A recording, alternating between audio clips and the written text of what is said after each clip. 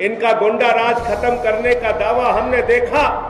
शर्म आती है ऐसी सरकार। एक दलित समाज की बच्ची के साथ बलात्कार हुआ। योगी जी, आपकी तानाशाही से ये उत्तर प्रदेश नहीं चलेगा। नरेंद्र मोदी अपने एक देश के पत्रकार के लिए श्रद्धांजलि के दो शब्द नहीं बोल पाते। पाँच मिनट के बाद साढ़े अठारह करोड़ रुपए में राम के नाम पे बेच दी। अब भाजपाइयों का नारा हो गया। रामलला हम आएँगे, चंदा चोरी कराएँगे। चंदा चोरों से, चंदा चोरों से।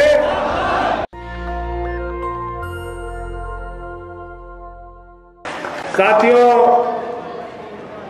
पूरे उत्तर प्रदेश में यह सदस्यता का अभियान चल रहा है। एक महीने में एक करोड़ सदस्य बनाना है। और जब मैं एक महीने में एक करोड़ सदस्य बनाने की बात कर रहा हूँ तो इसका मतलब हर विधानसभा में हमें पच्चीस हज़ार मेंबर बनाने हैं, पच्चीस हज़ार। और अगर हमने पच्चीस हज़ार सदस्य एक महीने के अंदर एक विधानसभा में बना लिया तो दो महीने के बाद हर विधानसभा में तीन तीन हज़ार कार्यकर्ताओं का सम्मेलन होगा और उसके बाद आम आदमी पार्टी का परचम आपकी विधानसभा में 2022 में लहराने का काम हम करेंगे। आज एक ऐसी सरकार उत्तर प्रदेश में चल रही है। आदित्यनाथ जी की सरकार, जिसने दावा किया था कि गुंडा राज खत्म करेंगे, जिस सरकार ने दावा किया था कि भ्रष्टाचार खत्म करेंगे, इनका गुंडा राज खत्म करने का दावा हमने देखा। ब्लॉक प्रमुख के चुनाव में महिला का चीर हरण किया गया। शर्म आती है ऐसी सरकार जिसमें महिलाओं की इज़्ज़त सुरक्षित नहीं है।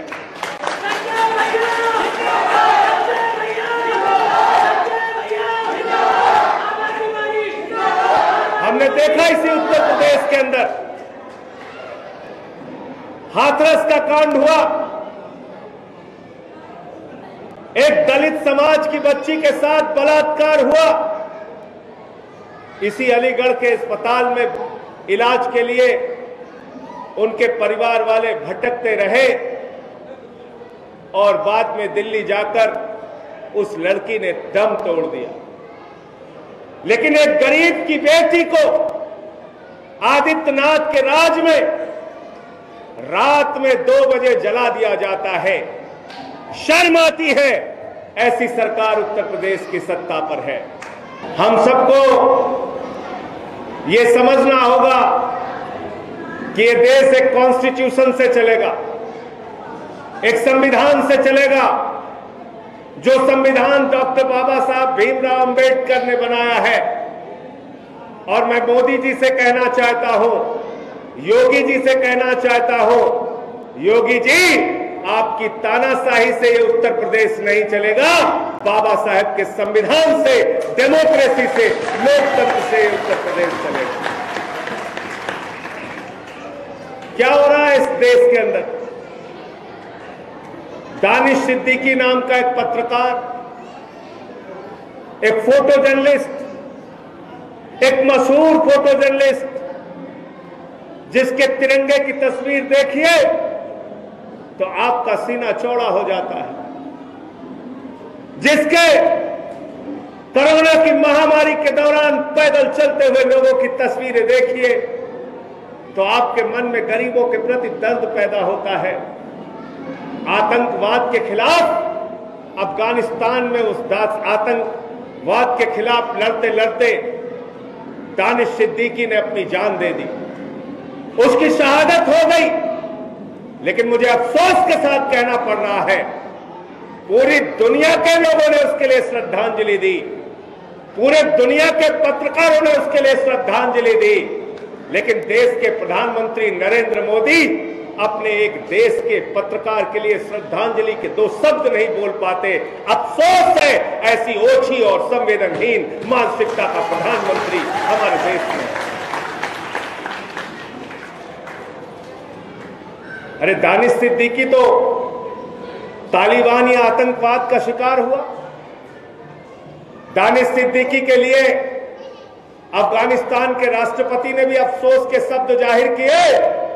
तो मैं पूछना चाहता हूँ, नरेंद्र मोदी जी, आप भारत माता के कैसे लाल हैं? आप तालिबानी आतंकवादियों के खिलाफ बोलने से डरते क्यों हैं? ये पूरा देश आपसे जानना चाहता है। आप बताइए इस बात को। आप दानिश सिद्दीकी के लिए नहीं बोलते। आप इस देश में सेलेक्टिव तरीके से अपनी श्रद्धांजलि देते हैं अफसोस ज़ाहिर करते हैं। ये आपके विचार है, ये आपकी सोच है। ऐसे मुल्क आगे बढ़ेगा। इस मुल्क को आगे बढ़ाने का एक ही तरीका है, इन नफरत फैलाने वाले चंदा चोरों को इस बार 2022 के चुनाव में आपको हराना है। चंदा चोर मतलब समझ गए ना? कौन है चंदा चोर? कौन है चंदा चोर? कौन है चंदा चोर? भाजपा वाले। कौन है चंदा चोर? इन चंदा चोरों ने क्या किया? अयोध्या के अंदर पता है आपको? इनकी चंदा चोरी मैंने खोली। एक ज़मीन खरीदा दो करोड़ रुपए में प्रभु श्री राम के नाम पे। सात बज के दस मिनट पे शाम को। और वही ज़मीन पाँच मिनट के बाद साढ़े अट्ठारह करोड़ रुपए में राम के नाम पे बेच दी। पहले भाजपाई नारा लगाते थे। रामलला हम आएँगे, मंदिर वहीं बनाएँगे। रामलला हम आएँगे, मंदिर वहीं बनाएँगे। अब भाजपाइयों का नारा हो गया। रामलला हम आएँगे, चंदा चोरी कराएँगे। चंदा चोरी करा रहे चंदा चोरी कर रहे राम राम जपना पराया माल। राम राम जपना पराया माल। ये काम कर रहे हैं भाजपाई। दो का अठारह भाजपाइयों का नाम क्या हो गया आजकल? दो का अठारह दो का साढ़े अट्ठारह कैसे करते हैं? और कानपुर के लोगों ने तो बैनर लगा दिया, अलीगढ़ वाले भी लगा दो। कानपुर वालों ने क्या बैनर लगाया? चंदा चोरों से, चंदा चोरों से, चंदा चोरों से, चंदा चोरों से सावधान हो जाओ। अरे जो राम के नहीं हुए, वो आम के क्या होंगे इस बात को समझ लें ये ऐसे चंदा चोर लोग हैं। और क्या करते हैं ये काम? आपको नहीं समझ में आता तो अभी तिहत्तर साल हुआ, आगे तिहत्तर साल भी हमारा आपका भला होने वाला नहीं है। मेरी बात बुरी लगे तो मुझे माफ़ कर देना। अरविंद केजरीवाल प्रचार करते हैं, हम लोग प्रचार करते हैं, आम आदमी पार्टी वाले प्रचार करते हैं, चौधरी सुरेंद्र जी प्रचार करते हैं तो कहते हैं, भाइयों और बहनों, आपको अपने बच्चों के लिए अच्छा स्कूल चाहिए कि नहीं चाहिए? मैं अलीगढ़ वालों आपसे पूछना चाहता हूँ, आपको अपने बच्चों के लिए अच्छा स्कूल चाहिए कि नहीं चाहिए? हाथ उठा के बताइए। हाथ उठा के बताइए पीछे तक। चाहिए अच्छा अस्पताल होना चाहिए कि नहीं होना चाहिए? मोहल्ला क्लिनिक होना चाहिए कि नहीं होना चाहिए? नौजवानों को नौकरी मिलनी चाहिए कि नहीं मिलनी चाहिए? बेरोजगारी, भत्ता मिलना चाहिए कि नहीं मिलना? और भाजपाई क्या पूछते हैं?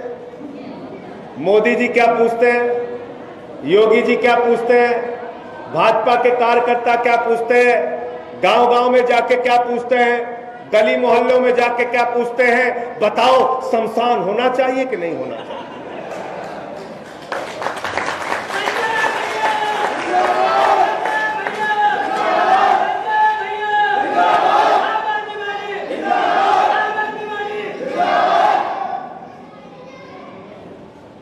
तो शमशान पूछने वाले का मतलब हो गया मनहूसियत की बात करने वाला। कौन लोग हो गए ये? मनहूस लोग। कौन लोग हो गए? मनहूस क्या पूछते हैं? शमशान चाहिए कि? मनहूस लोग क्या पूछते हैं? शमशान चाहिए कि? है कि नहीं मनहूसियत की बात? ज़ोर से बोलो। मनहूसियत की बात करते हैं। और इन बेईमानों ने इतनी मनहूसियत की बात बोली, इतनी मनहूसियत की बात बोली।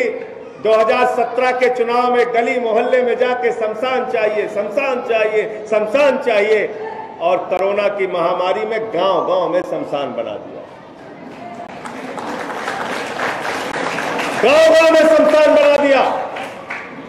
आज मैं इस मंच से ऐलान करना चाहता हूँ और आप लोग भी अपने दिल और दिमाग में एक संकल्प ले लेना हमको शमशान बनाने वाली पार्टी नहीं चाहिए, हमको अस्पताल और स्कूल बनाने वाली पार्टी चाहिए। हमको स्कूल बनाने वाली पार्टी चाहिए। हमको अस्पताल बनाने वाली पार्टी चाहिए। हमको सड़क बनाने वाली पार्टी चाहिए, हमको फ्लाईओवर बनाने वाली पार्टी चाहिए, हमको बेरोजगारी भत्ता देने वाली पार्टी चाहिए, हमको नौजवानों के लिए रोज़गार देने वाली पार्टी चाहिए, हमको किसान का, फ़सल का दान देने वाली पार्टी चाहिए, शमशान बनाने वाली पार्टी नहीं चाहिए। तो शमशान बनाने वाली पार्टी को इस बार चुनाव में क्या करना है? शमशान में तिलांजलि देकर आना है। झाड़ू लगाकर इनका भूत भूत कैसे उतरता है? ओझा लोगों को देखे हो कि नहीं गाँव में? हमारे यहाँ गाँव में जब ओझा लोग आते हैं तो कहते हैं, इसको भूत चढ़ गया, कैसे उतरेगा? झाड़ू मारना तो इन भाजपाइयों को जो शमशान बनाने का भूत चढ़ा है, इनका भूत हम लोग झाड़ू से उतारने का काम करें ठीक है? तैयार है आप लोग? तो अपना मोबाइल निकालिए सब लोग। मोबाइल निकालकर अपने हाथ में ऊपर हाथ में दिखाइए और आम आदमी पार्टी के मेंबर बन जाइए। मैं एक नंबर बता रहा हूँ। वही नंबर डायल करना है सब लोग मिलाइए नंबर सब लोग। नंबर डायल करिए। नंबर सुन लीजिए आप लोग। Nine one five one four zero, three, four, zero, three. फिर से हिंदी में बोल दे रहा हूँ। इक्यानवे, इक्यावन, चार सौ तीन, चार सौ तीन। यही नंबर डायल कर दीजिए।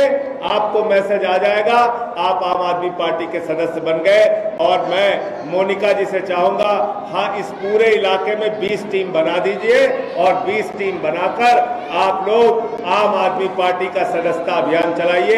एक हज़ार मेंबर आपको हर विधानसभा में डेली बनाना है, रोज बनाना है, तब आप पच्चीस हज़ार सदस्य बना पाएँगे। बहुत बहुत शुक्रिया, बहुत बहुत धन्यवाद। नेशनल दस्तक की आपसे गुजारिश है कि अगर इसको बचाना चाहते हैं तो नेशनल दस्तक को सब्सक्राइब करने के लिए रेड कलर के सब्सक्राइब बटन को दबाएँ, फिर बेल आइकन की घंटी दबाएँ। नेशनल दस्तक को बचाने के लिए बहुत ज़रूरी है कि हर खबर को शेयर करें, लाइक करें, कमेंट ज़रूर करें।